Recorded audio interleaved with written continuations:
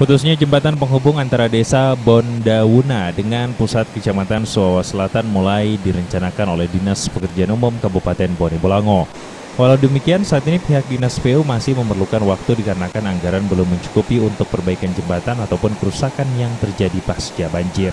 Memang kalau infrastruktur yang besar ini kan pertama kita orang harus lakukan rekon apa dulu eh, harus dibersihkan dulu, maksudnya orang tangani secara ini dulu sambil nanti di apa diadakan. Tadi sudah peninjauan lapangan bersama Bupati sudah kita tinjau beberapa lokasi.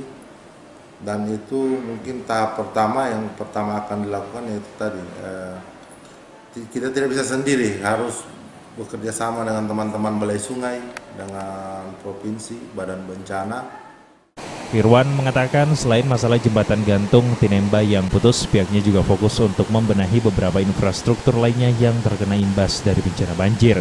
Pihaknya meminta perhatian beberapa instansi terkait lainnya seperti Balai Sungai dan BBBD guna membenah pasca banjir di Bone Bolango.